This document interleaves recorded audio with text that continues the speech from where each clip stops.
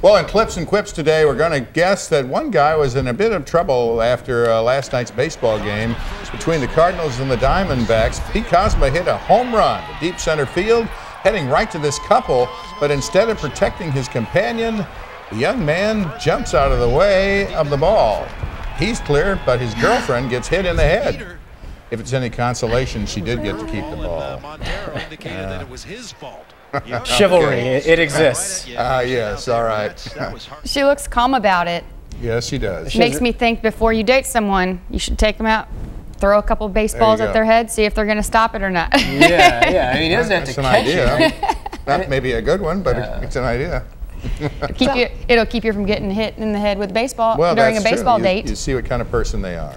Meanwhile, a Tennessee child has been repeatedly sent home from school, not for being disruptive, but for smelling bad. Her mother says the eight-year-old is clean. The school system says the, the school is so disruptive that uh, the teachers also and the students complain about it. They said she's been sent home 24 times, and the mother insists she bathes every day. For, for an image of this, just Google Pigpen from Peanuts, and you'll know exactly what we're talking right. about. Oh, Maybe she puts the same clothes on every day. That wouldn't, that wouldn't, wouldn't help.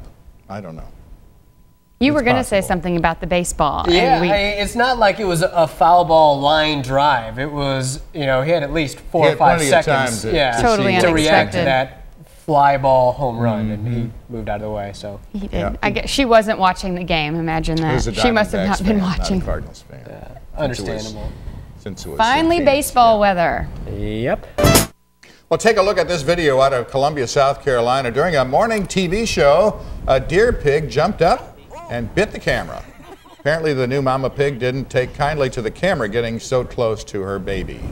The pig and the camera are fine. She's doing really well protecting her little Present day parenting. That's Mothers right. are protective of their You can't- child. You can't blame that Nothing creature. wrong with that. Can't say I've seen a deer pig before. I don't think I Mm-hmm. have either.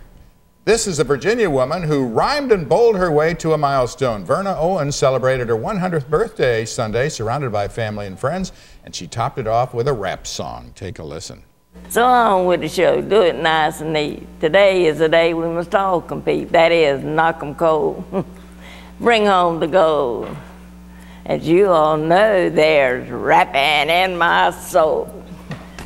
How about that? she stays busy. She was the oldest female a couple of years ago to compete in the National Senior Games in Houston and took home two silver medals. I bet It's not gold. I don't want to hear about it. I'm just kidding. What a fun impressive. lady. Uh-huh.